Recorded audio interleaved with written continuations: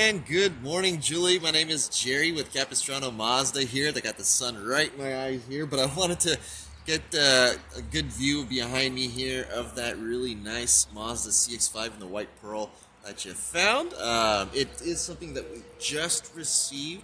Uh, so I'll be going through some additional steps, um, but I do invite you uh, to come by uh, and check it out in person and see if it is the right model for you. If there's any questions about features or anything of the sort like that that I can assist you with, I'm happy to do so.